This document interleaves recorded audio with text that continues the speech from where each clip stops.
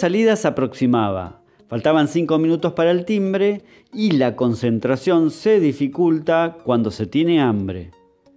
Luego timbre y salida casi en estampida. Atrás del auto rojo, como siempre, y casi en la esquina de la escuela, Marisa se encuentra con su hermana María, un año menor. Luego se saca las zapatillas que les regaló la tía Emma. Esperá, esperá, que nadie nos vea. Ahora, dale, apúrate. Marisa se pone las hojotas que traía su hermana menor y esta última, cuan si fuera un premio, se coloca el único calzado digno que tienen las hermanitas para así entrar al turno tarde. Imágenes y escenas parecidas que son reales y que se repiten por día y se multiplican por cientos en la Argentina profunda.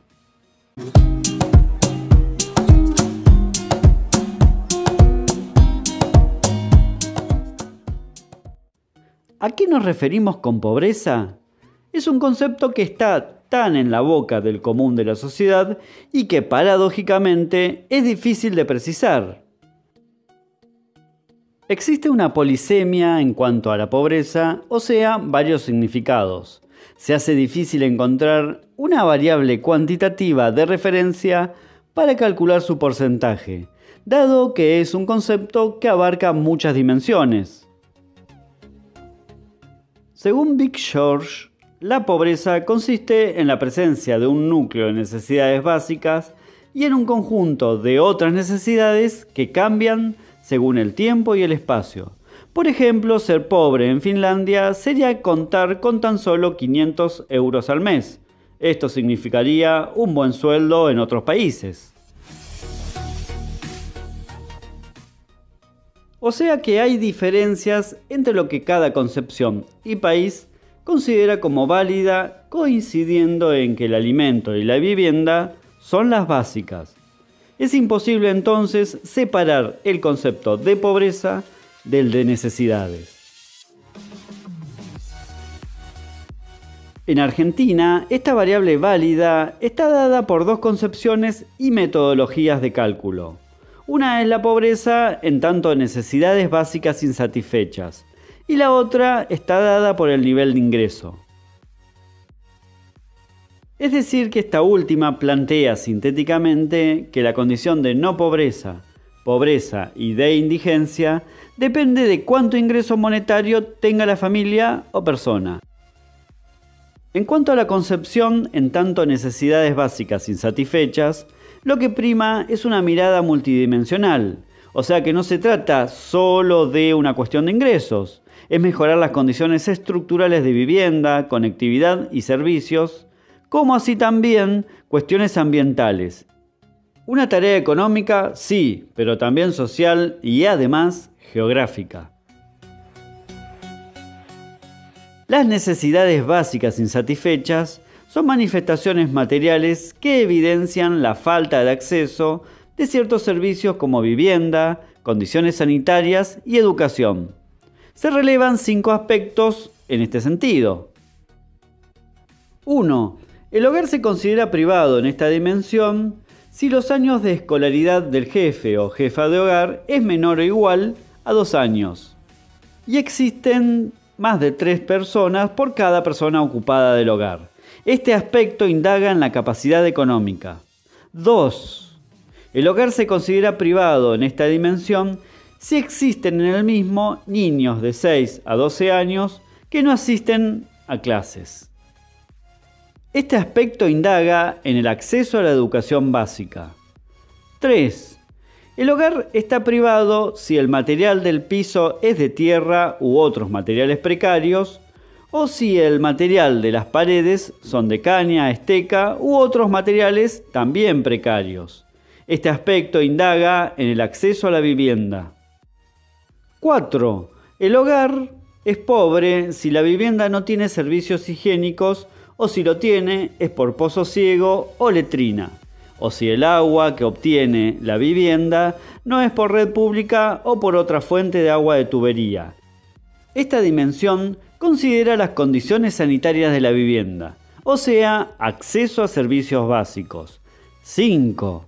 El hogar se considera pobre si la relación de personas por dormitorio es mayor a 3. Cuando esto ocurre, estamos hablando de hacinamiento. Esta medición estructural es relevada en cada censo realizado cada 10 años, arrojando porcentajes de necesidades básicas insatisfechas.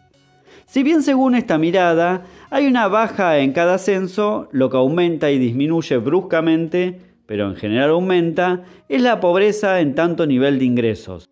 La misma tiene una metodología de cálculo. ¿Cómo se calcula la pobreza teniendo como criterio el nivel de ingresos? A través de lo que se denomina encuesta permanente de hogares, que se publica cada tres meses y es realizada por el Instituto Nacional de Estadísticas y Censos. Se calcula entonces la entrada de dinero para una familia y si la familia supera determinados ingresos en pesos, considerando la suma del valor según lo que necesite la familia por mes para cubrir sus necesidades básicas totales, entonces es no pobre. Se tiene en cuenta la canasta básica de bienes y servicios que nuclea el costo mínimo de acuerdo a las pautas culturales de consumo de cada sociedad y que incluye la canasta básica alimentaria. En cambio, si no lo supera, pero está por encima del valor de la canasta básica de alimentos, es pobre. Si el ingreso familiar no supera el valor de la canasta básica alimentaria, la familia no solo es pobre, sino que también es indigente. Es decir, sus ingresos no le alcanzan para cubrir sus requerimientos nutricionales básicos. Las crisis, estos acontecimientos que parecen ser un referente de identidad argentino, producen un efecto cascada, o sea, una parte de los no pobres caen en la pobreza y una parte de los pobres caen en la indigencia, la cual pasa a engrosarse. Mientras que necesariamente este desbande frenético no les toca a toda la población, pues una ínfima parte, menos del 1%, se vuelve más rica con cada crisis. Y con cada no crisis también. Se distinguen tipos de pobreza según las concepciones. La pobreza coyuntural está relacionada con el nivel de ingreso que se encuentra por debajo de la línea de pobreza. La familia cayó en la pobreza por una circunstancia general o particular, pero tiene elementos, o sea, el jefe o jefa de hogar, por ejemplo, un cierto nivel educativo u oficio, que le permitirán salir de la pobreza cuando la situación general mejore y además estructuralmente tiene resueltas las necesidades básicas insatisfechas. Por su parte encontramos la pobreza estructural, que tiene que ver con aquella que a pesar de los vaivenes económicos del país, o que él mismo se recupere de una crisis, la familia no sale de la condición de pobreza, dado que hay cuestiones estructurales a nivel de necesidades básicas insatisfechas, de las cuales la familia carece. Generalmente se suele relacionar a este tipo de pobreza con el tipo de pobreza generacional, en la cual el niño es pobre, el padre también y el abuelo también es pobre. Finalmente, la pobreza extrema está relacionada con la indigencia y por ende en aquel estado de carencia de recursos para cubrir las necesidades básicas de alimentos. La pobreza según nivel de ingresos es en 2021 el doble que en 1983 tras la recuperación de la democracia. En ese entonces era cuatro veces más que cuando empezó la dictadura. Y que para entonces la indigencia era una rareza estadística.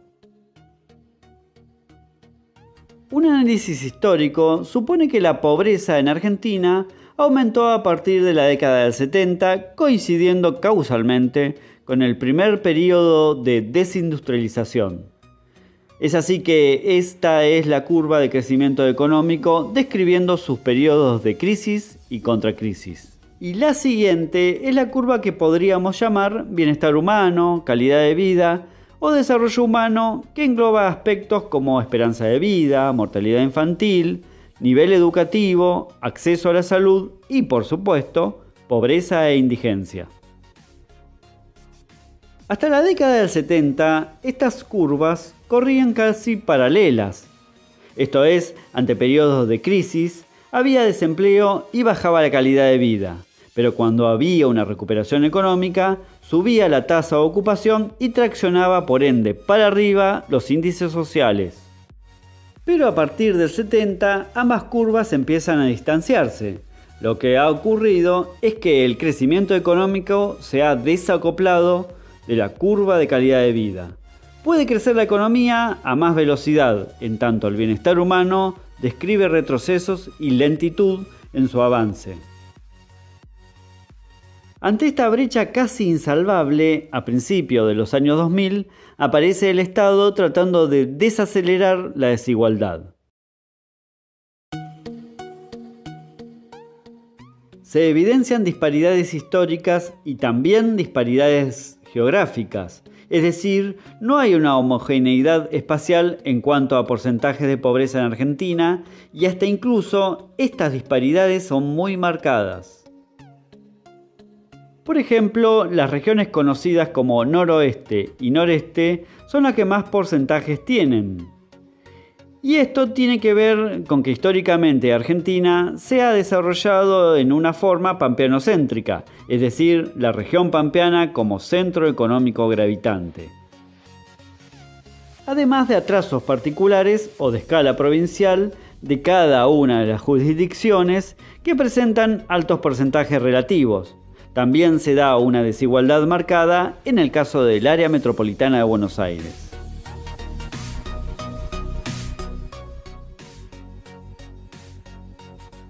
Existe un círculo vicioso de la pobreza que plantea que, dadas las necesidades de una familia pobre, la falta de una salud digna no permite asistir asiduamente a la escuela o se dificulta también una educación digna.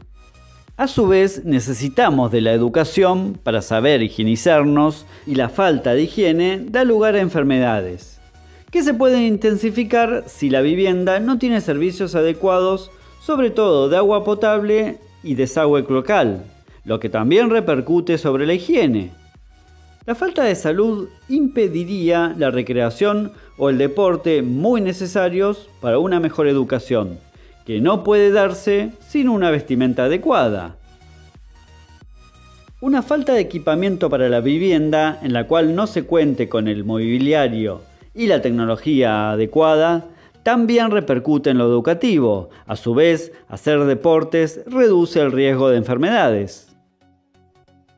Además, la falta de servicios para la vivienda se relaciona intrínsecamente con el equipamiento de la misma, un círculo vicioso de difícil escape, un laberinto en algunos casos desesperante.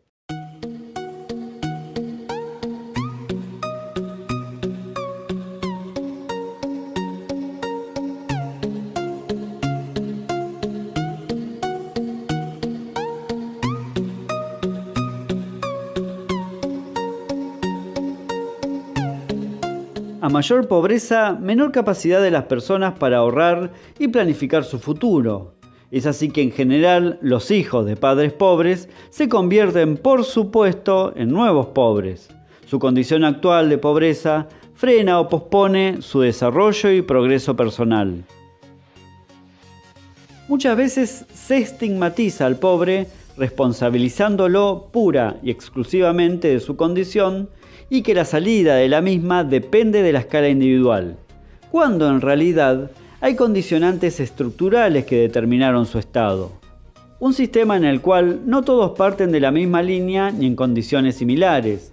Los y las que parten de más atrás tendrán que hacer mucho esfuerzo para igualar a aquellos que están en mejores condiciones y aún así, quizás llegando, no van a estar igual que si hubieran partido de la misma línea.